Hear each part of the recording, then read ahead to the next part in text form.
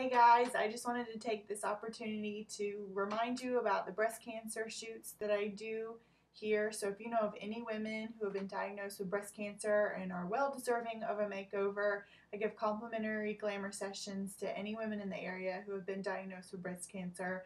And I love for them to come to the studio and just have a glamorous, fun day and help them build their self-esteem back up and just have a wonderful um, time to help encourage them. And then if they want to participate in the book that I'm putting together, I am trying to put together a book of at least 20 women who have been diagnosed with breast cancer who want to tell their story and get it out there.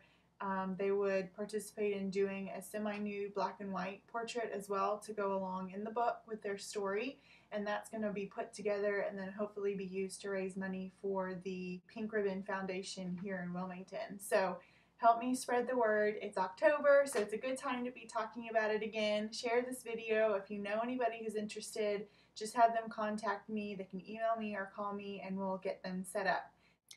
Oh, and if they want to see pictures of past shoots, you can go to my Facebook page. It's just Dana Laymon Photography if you search in Facebook. And I have an album of the past women that I've done. Okay, thanks.